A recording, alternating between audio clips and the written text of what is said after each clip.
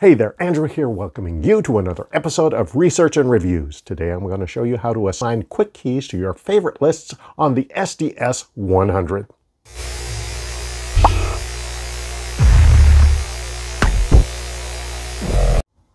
The first thing you want to do is to assure that the favorite lists you want to assign quick keys to are turned on.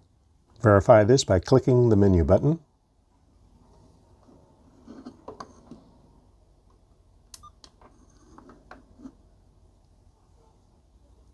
Select Set Scan Selection, which is at the very top. And you select by pressing the knob on the top.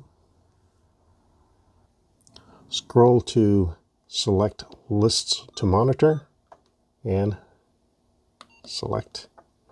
Then you scroll down and assure that the favorite lists that you want to assign the quick keys to are turned on.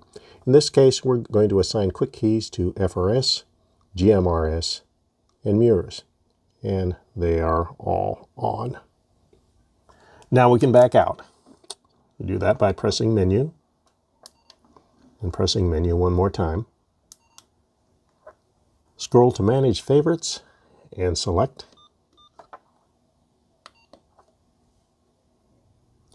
Scroll to the first favorite list that you want to assign a quick key to. In my case, it's going to be FRS. Then click Select. Then scroll down to Set Favorite List Quick Key. Select again.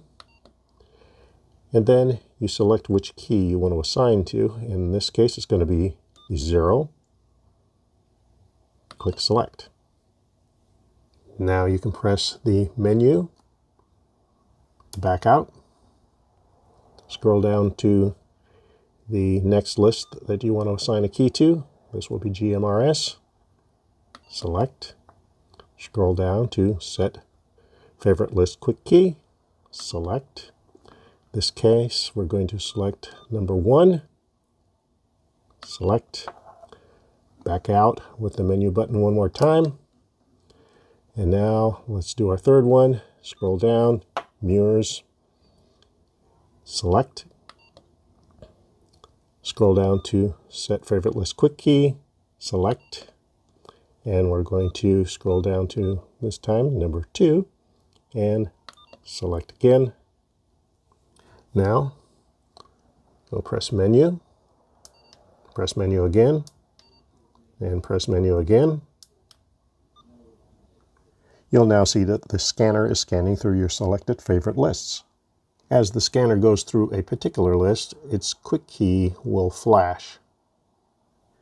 To turn a quick key off, press the key number.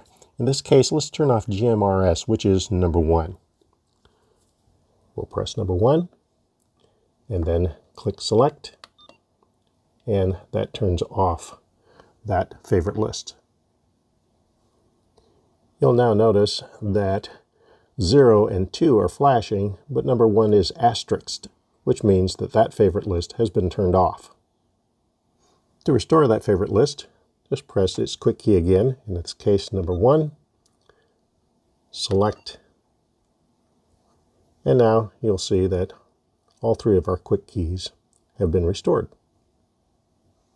So there you have it, a quick way to assign quick keys to your favorites. That's all for now. I'll see you next time.